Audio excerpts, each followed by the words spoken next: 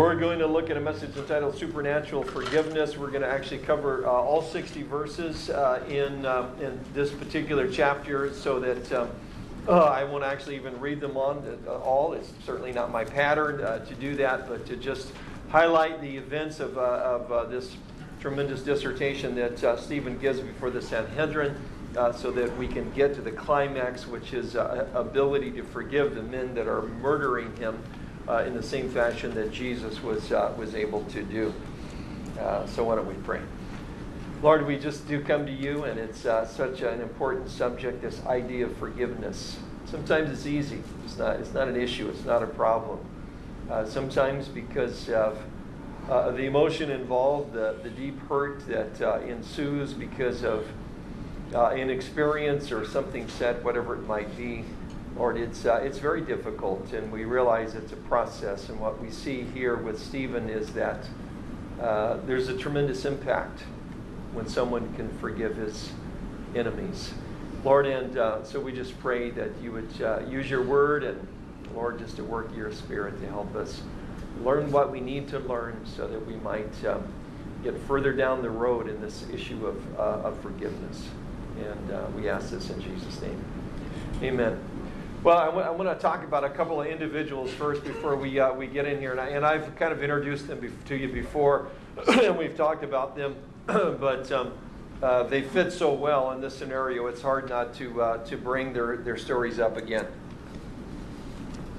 One is uh, Jake DeShazer. Here, uh, Jake was uh, the bombardier uh, in plane 16 out of 16 of the Doolittle Raiders. And uh, of course, uh, you may or may not be aware of, uh, if you saw the movie Pearl Harbor, then you are aware at least uh, that much aware of the uh, Doolittle Raiders and what their mission was all about. But in order to answer back the attack at Pearl Harbor, a plan was devised to put B 25 Mitchell bombers on a, on a United States carrier and get it. Um, seven, uh, excuse me, 550 nautical miles off the coast of Tokyo Bay, so that they then would be able to launch, get over Tokyo, uh, drop their bombs. Uh, it would be a one-way ticket. They would continue to to fly, uh, try to make it to uh, China, uh, which was an ally of ours at the time.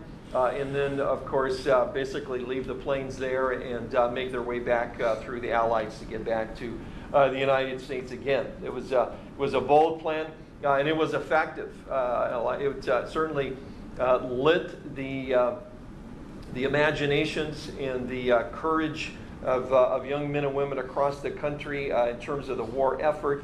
but it did a lot more than that because it ended up causing Japan to hold back a portion of their uh, ships and planes uh, to protect the homeland, which at least some historians uh, would say played a, a, significant role in the Battle of Midway uh, in our ability to win that battle, a turning point in the war. Uh, Jake, is, uh, as I mentioned, is on plane 16. They're 700 nautical miles out, uh, and uh, they are spotted by a Japanese fishing boat uh, out there as pickets to keep, kind of keep an eye on the home front. one of our destroyers takes them out very quickly, but not before they have a chance to radio a message uh, and so the carrier group has been spotted. Big decision at that point either turn back and get back to Pearl Harbor as quickly as possible or go through with the mission. Uh, they, uh, they moved in a, another 50 miles. Uh, still not close enough. They're 100 miles short, nautical miles of where they need to be. Uh, they launched uh, the bombers anyway. they were able, to, of course, to deliver the bombs over their designated targets and, uh, and many of them crash landed. Uh, some of them, a few of them, including uh, Doolittle, I was able to actually make it to uh, Allied hands uh, in, in China. Jake's plane was not going to make it. his pilot told them all to, to bail out, which they did. and then they were captured within minutes from the time they, they hit the ground. And if you know anything about uh, Japanese internment camps and the brutality of the Japanese military during the war. You can only imagine uh, what his life was like for the next two years. Uh, and uh, at a point in time when men are dying of dysentery and starvation and they've been tortured and brutalized, uh, they are given uh, some, some books in, in their, their prisoner of war camp. One of them is a Bible. And uh, there's a few people interested in reading the Bible at that point. Jake had grown up in a Christian home, but had really never had made a commitment or had anything to do with, uh, with Jesus Christ. Uh, but he took his turn because there was only one. And when his turn came to read the Bible, he read as much as he could. Uh, and the day that he had to turn the Bible over to uh, another one of his fellow prisoners, he had ro- read Romans chapter 10. Uh, and in verse 9, it said, If you confess with your mouth that Jesus is Lord and believe in your heart that God raised him from the dead, you'll be saved. Jake got on his knees, gave his life to Jesus Christ. And it became evident to him right away that something had changed. Uh, but there was a great uh, dilemma in his own heart because he hated his captors. And yet he realized that uh, God wanted him to be able to forgive them. Jake was able to do that by the grace of God. Not only he saw that as a tremendous turning point in his life, uh, uh, in a work of the Holy Spirit, but his captors even noticed his disposition and the, the change in him, and he was able to comment uh, on the fact that it was because of his faith in Jesus Christ. he finishes out the, the two years till the end of the war comes, is able to make it back to the United States, and uh, feels uh, called by God to go back to Japan as, as a missionary. Uh, he does that in 1948 with his wife Florence. They return, and when they return, there are thousands of people that want to hear Jake. And that's because there had been a track written in Japanese uh, entitled I Was a Prisoner of the Japanese, and it was his story and his testimony and, and uh, how he was able to forgive his captors. Uh, a million of these tracts had been distributed uh, in Japan, many of them by our own army chaplains that were there as part of the occupied force, which, by the way, lasted almost nine years. Uh, that, was, that was a day when uh, we were not in a post Christian era, and our government saw it as a good thing when other people came to faith in Christ. Uh, and so there was uh, lots of people lined up to hear Jake uh, when he went back in 1948. Uh, let me introduce you to the next guy, and I'll show you how their story overlaps. This is Mitsuo Fuchida, Captain Fuchida. He was the lead pilot, command pilot of 360 planes uh, that led the attack on Pearl Harbor. Believe that he was born for, for that day. And, uh, and as we conclude our message, uh, I'll read you, in a sense, the rest of the story and a little bit from his memoirs uh, from, uh, for that one day.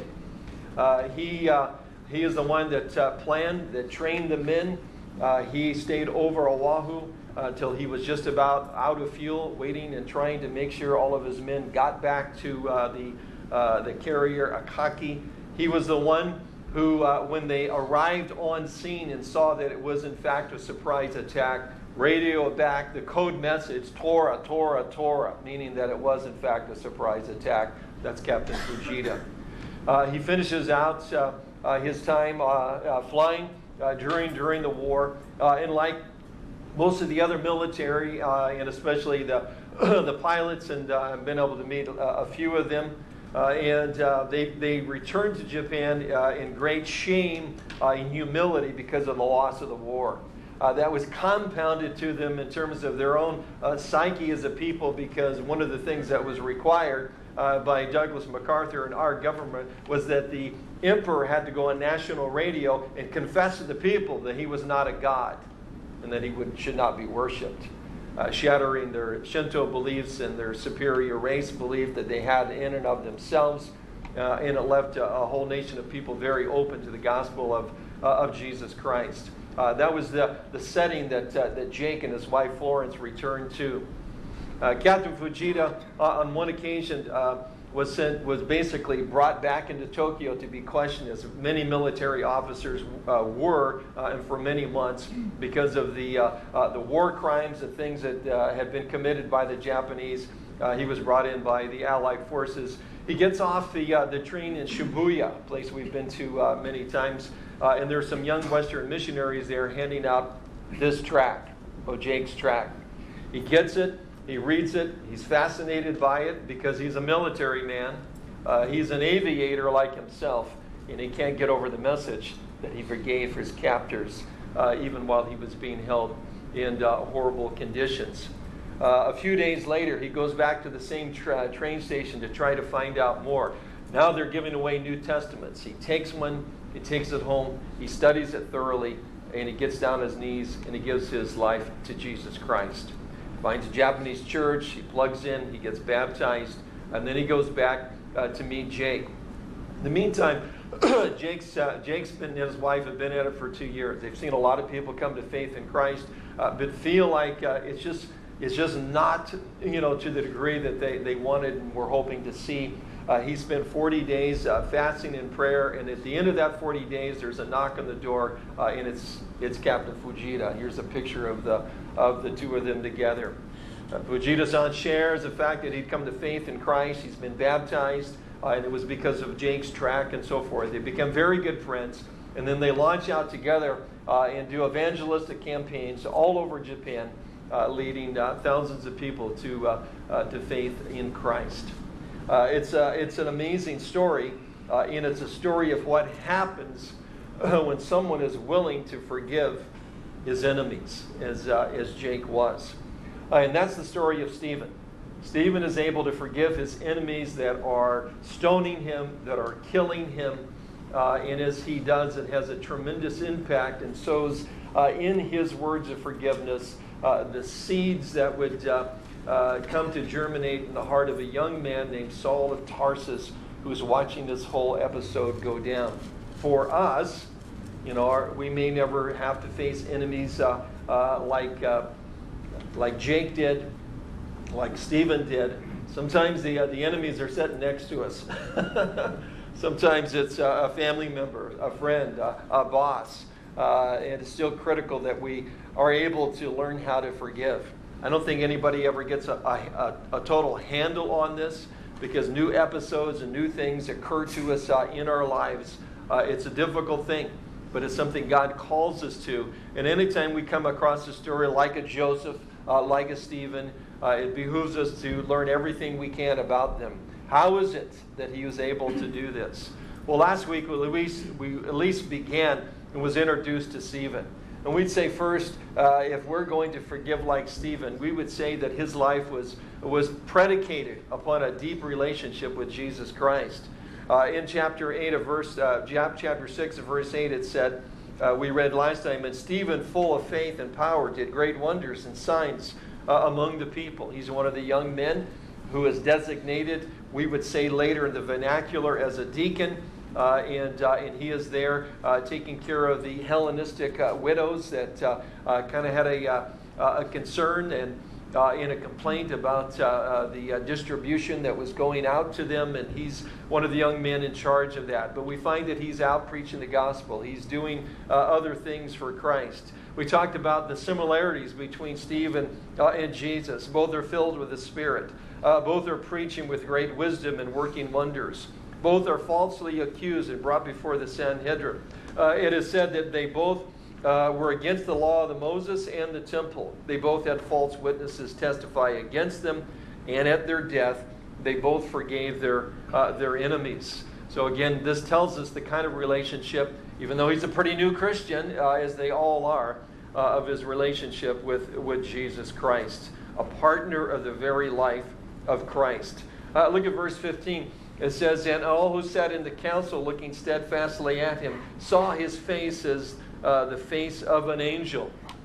I don't know what that would look like exactly, uh, but obviously there was a tremendous peace uh, that was in the heart and in the life of Stephen, and it was all because of his relationship with Jesus Christ.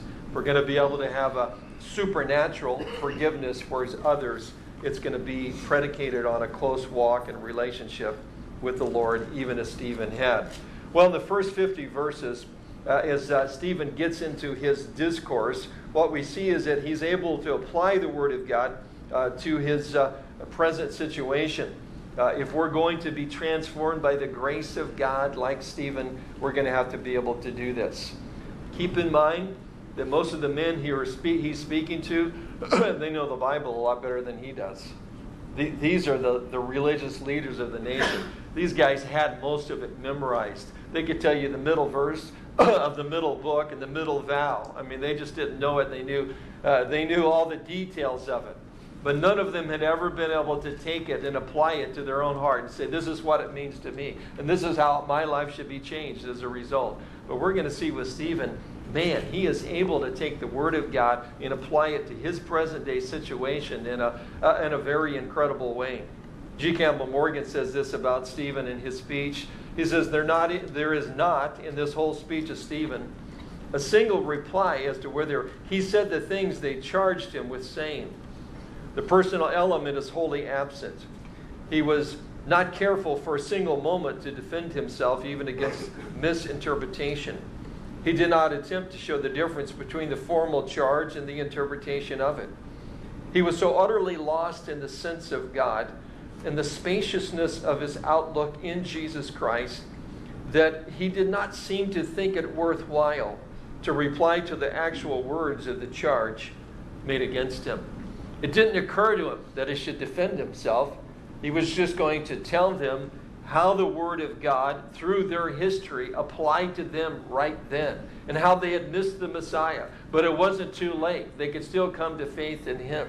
It's, he was so caught up in his own relationship with Christ, he, he forgot to defend himself here against the same group of people that had already beaten the 12 apostles. The same apostles that only a few, the same Sanhedrin, the same men that only a few months before had uh, made the determination to crucify Christ. But for Stephen, it never occurred to him he should defend himself. Well, let's look first at the first eight verses. Here, Stephen sees his present situation in the history of the past. and again, I'm only going to highlight a few of these verses. Verse 2 says, The glory of uh, the God of glory appeared to our father Abraham when he was in Mesopotamia uh, before he dwelt in Haran, uh, and said to him, Get out of your country and from your relatives and come to the land that I will show you. Here he mentions Abraham at the beginning because, of course, the Jews prided themselves in their history uh, and of being children of, uh, of Abraham. Uh, but here it was already obvious that they had a uh, confusion over this idea of a national heritage versus a real and a genuine spiritual experience. John the Baptist had warned them, Jesus had warned them. Uh, look at verse 8. He mentions the ritual of Abraham. Then he gave him the covenant of circumcision. And to them, it was all about the ritual, it was all about what they had done. Uh, it was all about uh, uh, you know, who they were uh, as children of Israel. But Stephen's indictment is, but, but you, don't, you know nothing of the faith of Abraham. You don't have the faith of Abraham. Uh, it's not enough to do a ritual. And I can tell you, there's people sitting in churches across our country today that have gone through some ritual and they think that's enough. And they've never had a relationship with Jesus Christ. They've never surrendered their life to the Lord. They've never taken the Word of God and had it applied to their life and have an understanding of what it is to, uh, to walk with the Lord. Uh, but we have a whole nation. Individuals are coming to faith in Christ and Jesus is the Messiah, but we have a whole uh, national leadership that's rejected him. Uh, and he says, You've missed the point. Jeremiah warned them in his day in this way Circumcise yourselves to the Lord. Take away the foreskins of your hearts, you men of Judah, and inhabitants of Jerusalem, lest my fury come forth like a fire and burn so that no one can quench it because of the evil of your doing. These men were evil. They knew the Word of God. They had the Word of God. They had it memorized. They could recite it. They'd never applied it to their own lives. They would talk about Abraham. They didn't know anything about the faith of Abraham. They clearly did not possess it. His second indictment, and he continues in verse 9 to 38, uh, and he applies the present situation as he reminds them of not just the past, but past deliverance and deliverers. And the first one is Joseph. In verse 9 it says, And the patriarchs, becoming envious, sold Joseph uh, into Egypt. His point here is going to be very clear as he mentions Joseph and then Moses. God sent deliverers, and you reject them the first time that they came. God sent the same deliverers in a second coming, and in their second coming, you receive them, and history is going to repeat themselves, or at least that's his point. Now, you remember that Joseph grows up as a young boy. God gives him these visions that he, in fact, is going to be the leader of the nation. He will be their deliverer, and so forth. His older brothers weren't too thrilled about that. In fact, they plotted to kill him. Uh, they were able to, uh, one of the brothers convinced them not to kill him, but simply to sell him into slavery. And of course, uh, this is how Joseph gets into Egypt. And remember the story of Joseph and his faithfulness to God. And obviously he's forgiven his brother. There's not any bitterness in his heart, and we see that through his life. Uh, we see that in the names that he gives his children, for example. He rises to prominence in Potiphar's house, where he's accused falsely of a sexual crime. Uh, he's thrown into prison, and in that prison, he interprets the dreams of the uh, wine steward uh, and the baker. Those dreams come true. Uh, the wine steward is restored to his position before Pharaoh, but does not remember Joseph. Joseph uh, languishes in prison for uh, a, a, longer period of time. But one day Pharaoh has a dream. He's troubled by it. And uh, of course, the wine steward remembers there's a young Hebrew in jail. He has the power to interpret dreams. Joseph is brought before him. Pharaoh interprets the dreams, tells him what's going to happen in the future, uh, and he is made prime minister. Uh, now, the brothers uh, come from come from Israel, from the land of Canaan. They come to Egypt because uh, uh, they're in need. They're starving like everybody else. Uh, Joseph is there, uh, but Joseph does not reveal himself. He speaks Egyptian, he looks Egyptian, uh, and uh, he doesn't reveal himself to them. But when they come again, and they see him a second time, then Joseph eventually reveals himself, if you recall the story. In that case, uh, he had forgiven them a long uh, time ago, years ago, uh, but he was looking to see if there was any repentance. There needed to be repentance on their part in order to be reconciliation. Again, another story about forgiveness that's so important. Uh, but Stephen's point here is that uh, God raises up uh, messiahs or deliverers for you, and you reject him. But when they come the second time, then you accept him. The second example is, is that of Moses. Look at verse 25. For he supposed that his brethren would have understood that God would deliver them by his hand, but they did not understand. And we remember the story of Moses, and Moses again is, uh, uh, is taken in by one of the uh, princesses of, uh, of Pharaoh, one of Pharaoh's daughters. Um, we know historically exactly which one she is, and we've actually showed you some uh, pictures of uh, some of the, uh, the, the, tombs and the shrines that uh, were built in her honor. She reigns as Pharaoh. Uh, he, is, he is in position to become the Pharaoh. This is not a like maybe he's going to be the next Pharaoh. She's raised him up for that uh, particular purpose. Uh, but in that, then Pharaoh realize, excuse me, Moses realizes that he is a Hebrew. Uh, he is Jewish. Uh, he sees his own people and the condition that they're in, and uh, living there in Egypt as uh, as slaves and being brutalized at times. Uh, and he seeks to intervene on their behalf and stop a Egyptian taskmaster from beating or possibly killing a Jewish man. And of course, he ends up killing that that person. and when that happens. Uh, again, verse 35 Then Moses, whom they rejected, said, uh, Who made you a ruler and a judge? Is the one God sent to be a ruler uh, and a deliverer. They rejected Moses. Moses believed that God had raised him up and put him in a particular position to save his people, but his people rejected him at his first coming. That's Stephen's point. You remember the story then. Uh, Moses then flees. He spends 40 years on the backside of the desert, uh, comes into contact with God via the burning bush, comes back, and he is the deliverer of the people. And in his second coming, then he is received, uh, and the people are delivered by the hand uh, of Moses. Uh, pretty good for Stephen. He's able to look at the Word of God and say, and this is how it applies. This is our history, uh, but this is how it applies to us right now today because Jesus is the Messiah, and He came, and you've rejected Him. Uh, but He's coming again, uh, and at that time you will accept Him. In fact, Zechariah 12:10 says, "And I will pour out on the house of David and on the inhabitants of Jerusalem the spirit of grace and supplication. Then they will look on me whom they have pierced. Yes, they will mourn for him as one mourns for his only son, and grieve for him as one grieves for a firstborn." Stephen able to apply the word of God. Abraham, uh, you're prideful in Abraham. You don't even have the faith of Abraham because Abraham was a man of tremendous faith. You know the scriptures, but you've never applied them to your life. How is it that you don't know you've rejected the Messiah, that Je- uh, Jesus Christ, that God sent? It's like the way you rejected Joseph. It's like the way you rejected Moses. But when they came a second time, you accepted them. He will come a second time. And these national leaders, well, there'll be others, the nation would accept him that second time. Thirdly, Stephen, in his present situation, is able to point out past transgressions. Uh, he's been accused of breaking the law. He goes on to show them that the nation of Israel actually had continually broken the law. Look at verse 40. Saying to Aaron, Make us gods to go before us. As for this Moses who brought us out of the land of Egypt, we do not know what's become of him. So, of course, as they're beginning their wilderness wandering, their journey uh, that God would lead them on, uh, because of their grumbling, because of their complaining. Uh, we already have a situation where Moses is up on Mount Sinai. He's still receiving the law. He, he can't even get down the hill with the law already. Uh, and uh, Aaron is already leading the people uh, in the calf worship, uh, which they have created. They're worshiping, and basically it's very sexual, it's sensual. This is all going on. He can't even get down the hill with the law. And you're accusing me uh, and you look to your forefathers for all of these things and their traditions, uh, you accuse me of breaking the law. Uh, they were breaking them before, uh, before Moses could even get down the hill. Look at verse 42. It says, Then God turned and gave them up to worship the host of heavens.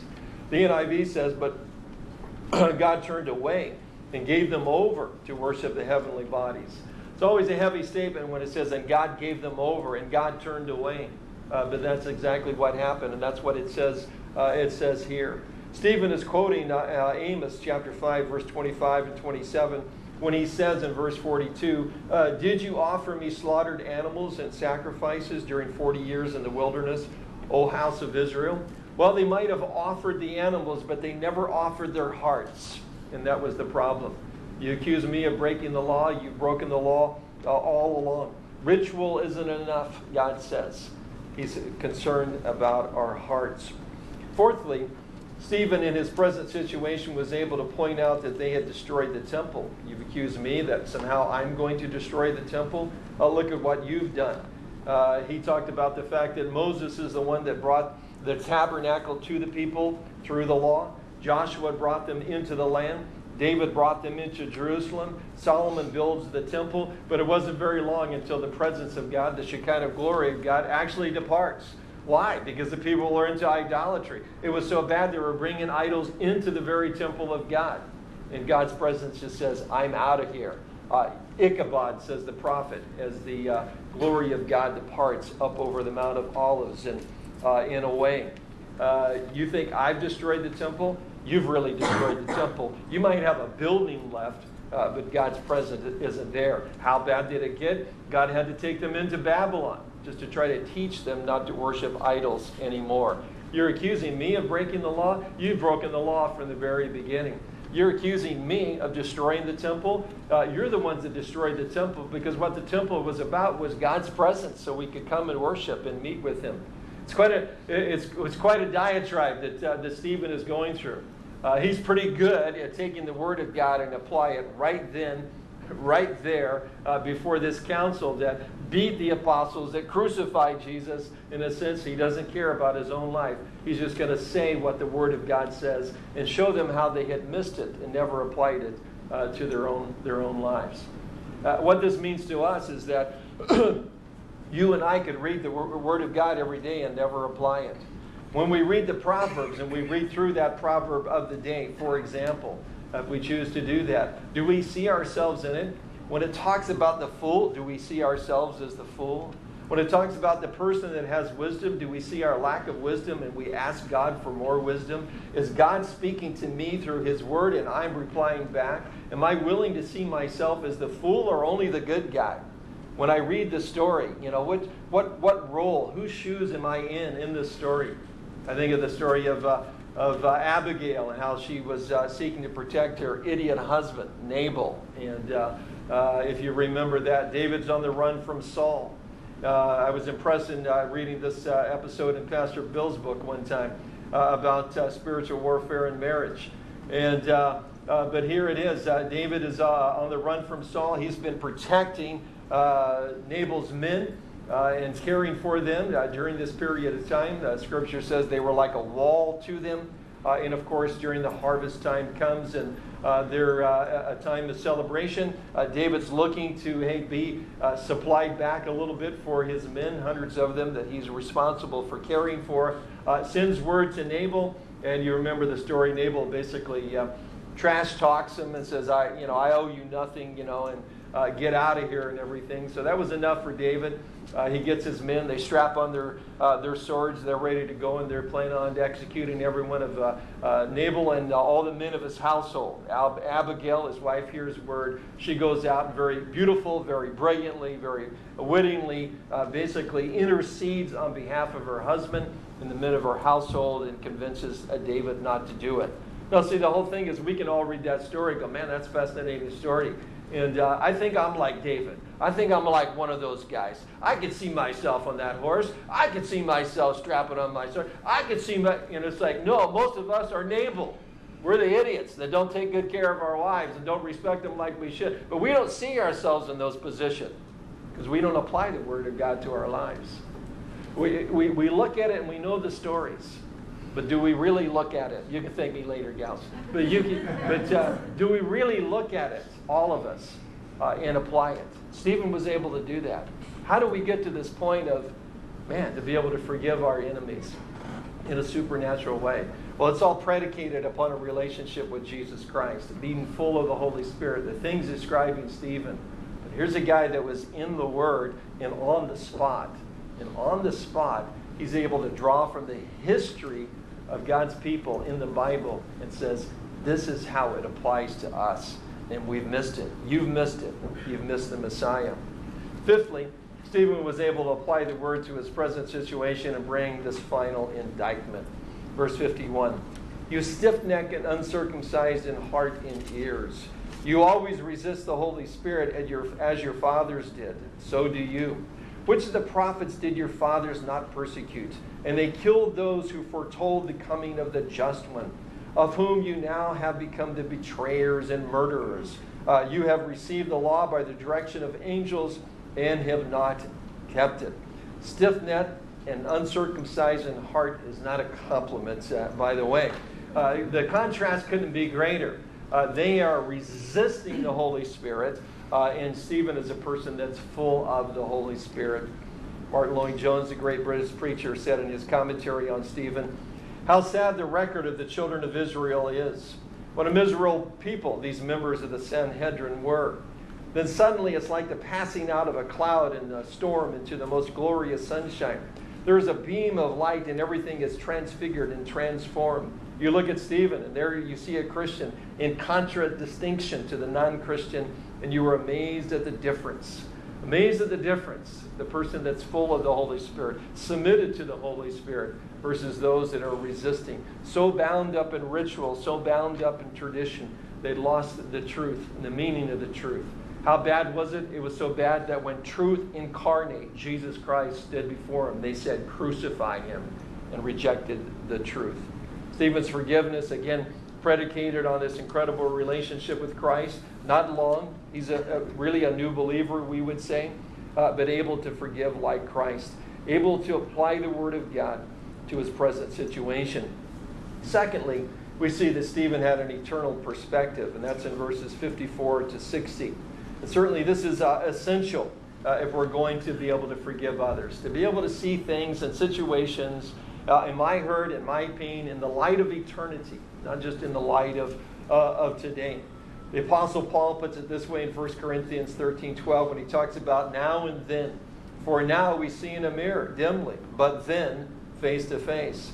Now I know in part, but then I shall know just as I also am known. Uh, we're in a world that's passing away, and sometimes we forget about it. Hebrews 13 14 says, For here we have no continuing city, uh, but we seek the one to come. Paul says in Philippians, our citizenship is, uh, is, uh, uh, is in heaven, and we eagerly await our Savior from there, the Lord Jesus Christ, who, with a power that enables him to bring everything under his control, will transform our lowly bodies so that they will be like his glorious bodies. That's what we're waiting on. That's what we're looking for. And if we don't see it and we're not looking that way, the pain of today will overtake us, uh, and we'll never be able to supernaturally forgive. Uh, Moses certainly had, uh, had that perspective. Again, uh, the riches of Egypt, the power of Egypt, the position uh, that he would have, he would rule the most powerful nation on the planet at the time. Uh, not just politically, not just materially, but militarily as well. He was in position to do that. Yet the writer uh, of Hebrews 11 says in verse 26 esteeming the reproach of Christ greater riches than the treasures of Egypt, he looked toward, uh, looked uh, to the reward. He looked to the reward. He was looking ahead. He didn't live for the now, uh, he lived for the then. What did this mean for Stephen, this eternal perspective? Well, we'd say it allowed him to see his death as a coronation. That's in verse 54. When they heard these things, they were cut to the heart, and they gnashed at him with their teeth. But he, being full of the Holy Spirit, gazed into heaven and saw the glory of God, and Jesus standing at the right hand of God, and said, Look, I see the heavens opened, and the Son of Man standing at the right hand of God. Notice the progression. He gazes into heaven. He sees the glory of God. There's an expectation and an anticipation that he's about ready to enter another world. Stephen realizes he's dying. Uh, at this point, as these uh, uh, large stones are, are, are, bombarding and crushing and coming upon him. He gets on his knees and he is fully expecting to see Jesus Christ. He doesn't look up at heaven and Jesus appears for him and he goes, What's that? No, no he's, he knows exactly what it is. There's an anticipation that, that Jesus is going to be there at that moment. An eternal perspective allowed him to see his death as a coronation. Not a bad thing, but a, uh, but of glorious things. Uh, there's a couple things just to mention about his uh, the words and the phrases that he uses. He describes Jesus as the Son of Man. It's a title that Jesus used about himself more than more than any other, and it refers to his incarnation. Uh, it's a reference, I believe, to the fact that when he looked at Jesus and saw him standing there, he was standing and seeing the, uh, the nail scarred hands of Jesus Christ.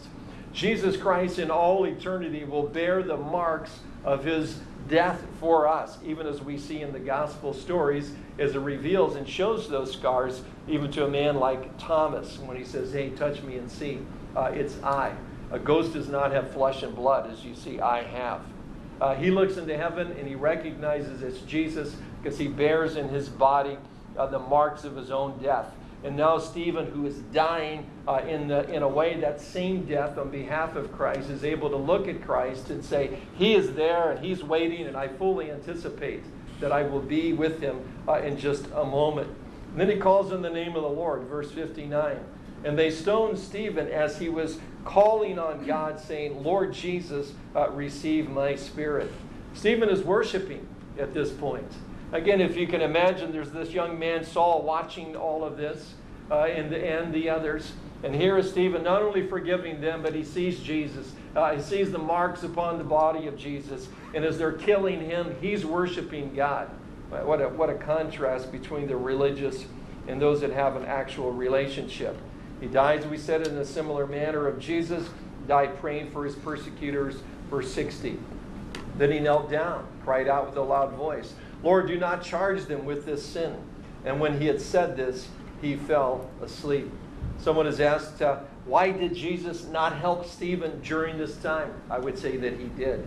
He gave him the grace to forgive his murderers uh, and gave him the grace to pray for them uh, even in his death.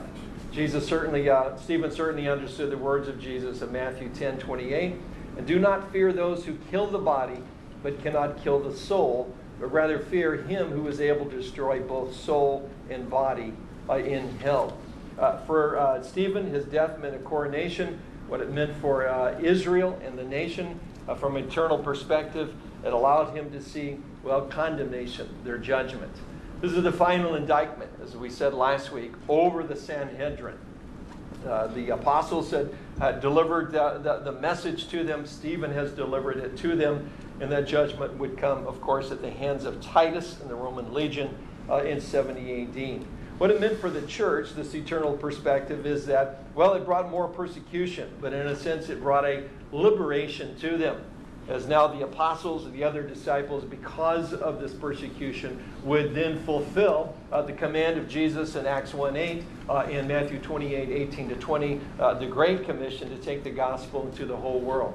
Persecution came and it liberated them and drove them out of whatever they had left of a comfort zone uh, to take the gospel to the whole world. It's going to the Jew first and to the Gentile, uh, and this kind of launches uh, that whole process. What it meant for a, a young man named Saul, as we've mentioned, we'd say fourth, an eternal perspective did not allow him to see the impact, did not allow him to see the impact on a young man named Saul. Stephen never knew.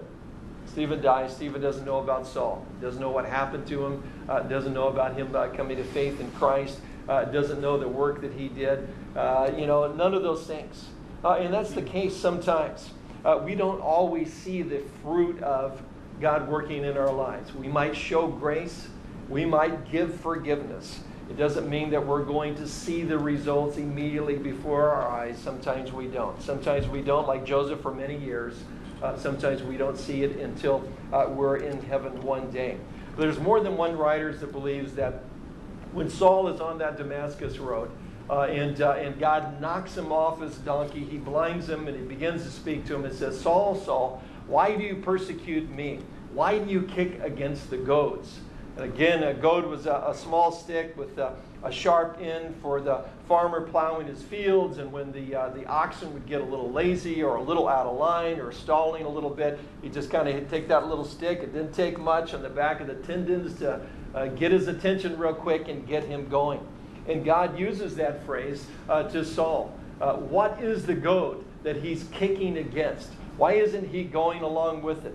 Uh, many people would say that goad was the testimony of Stephen and how he died, what he said at his death, and how he forgave those that were persecuting him. Hard to kick against the goats. And the Apostle Paul, of course, his life was completely transformed from that point on. Frederick uh, Buechner, who was a Nobel Prize uh, uh, author, Christian author uh, a couple of generations ago, uh, wrote the following he said, Stoning somebody to death, even somebody as young and healthy as Stephen, is not easy. You don't get the job done with the first few rocks and broken bottles. And even after you get the man down, it's a long, hot business. To prepare themselves for the workout, they stripped to the waist, got somebody to keep an eye on their things till they were through. Uh, the man they got was a fire breathing young arch conservative Jew named Saul, who was there because he thoroughly approved of what they were doing. Saul is into this, as, uh, as we'll see as we continue uh, in the book of Acts. He's into it. He thinks he's doing God's work by killing uh, Christians. Uh, G. Campbell Morgan said, The witness is dead, the truth lives. And in his very dying, he has sown the seed of a mighty harvest in the heart of the hardest man in the crowd.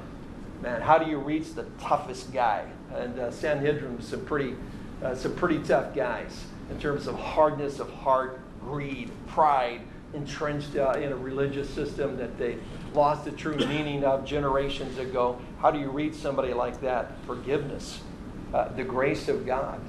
Warren Wiersbe says, in some respects, it may be harder to live for Christ than to die for Him. But if we're willing to live for Him, we will be prepared to die for Him if that is what God calls us to do. Stephen's look at history was one of mankind continually rejecting God, but his witness for the Lord was powerful, and God used it to change, change history. Uh, and this all happens again because Stephen's, uh, you know, forgiveness uh, is there, predicated on his relationship with Christ, able to apply the Word of God to his present situation and this wonderful eternal perspective. C.S. Lewis wrote in Mere Christianity if you read history, you'll find that the Christians who did the most for the present world uh, were just those who thought most of the next. Aim at heaven, and you will get earth thrown in. Aim at earth, and you'll get neither. Uh, eternal perspective. Uh, so important for forgiveness, but so important for uh, everyday life uh, and living for Jesus Christ and seeking to have an impact on others. I have to tell you the rest of the story now. So after the war, Captain Fuchida's offered uh, several opportunities. One of them uh, is to uh, head up a new air force in Japan that's being formed, uh, which of course would have been a, a dream of his as a child, but he turns it down because he saw the work as an evangelist as being much more important. The other thing that uh, happened uh, in Japan is that uh, if you were a pilot, you were never allowed to fly again. You were just grounded. Nobody, no Japanese is getting an airplane as long as uh, our forces are there, occupying, uh, setting up their constitution, setting up their government, trying to get things uh, rolled out so there would no longer be a military state and so forth.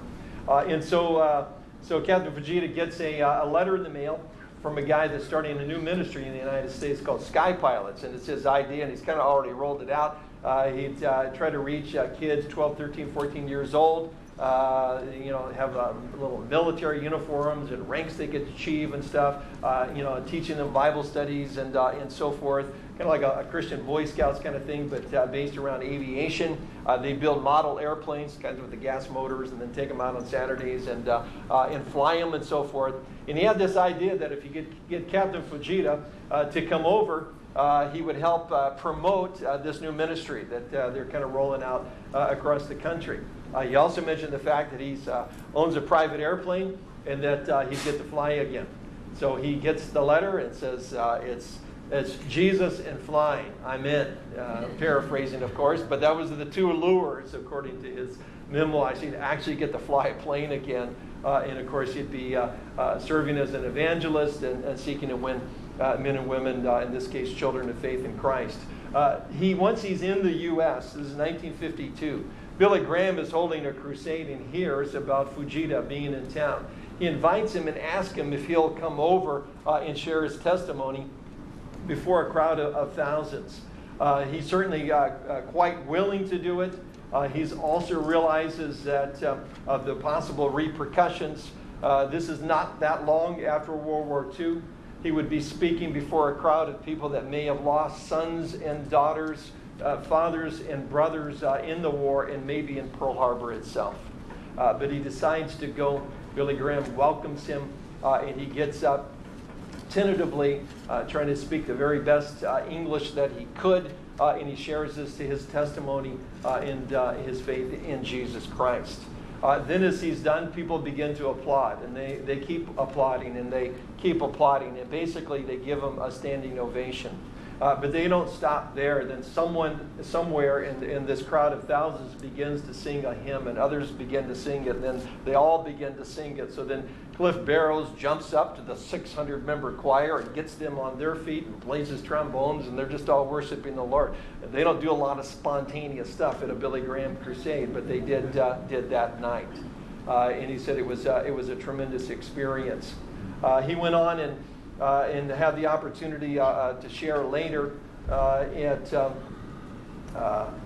at up in the Seattle area. And I just want to read a little bit from, from the book here so I can get a couple of the facts right. He was at Bremerton Naval Port across from Seattle.